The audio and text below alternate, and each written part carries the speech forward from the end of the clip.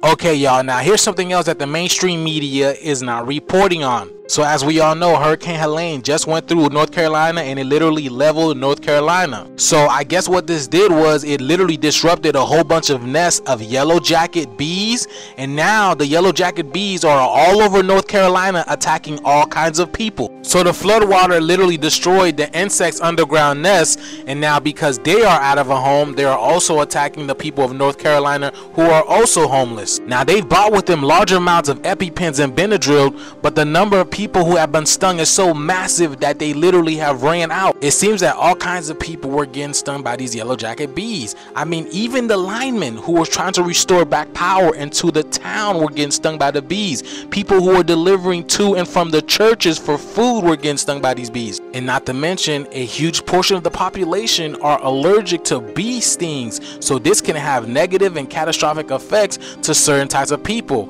You know, it can cut off their breathing, swelling, all types of of things. So they have to make sure to bring these things in ASAP. But because of the massive amounts of destruction that has happened in North Carolina, they are finding it hard to bring the medication to these people. So I'm just doing my job out there and letting y'all know what is happening in their neck of the woods. Meanwhile, I'm letting y'all know if you're in Florida, y'all need to be prepared for this next hurricane. I too am in Florida and I have to get ready myself.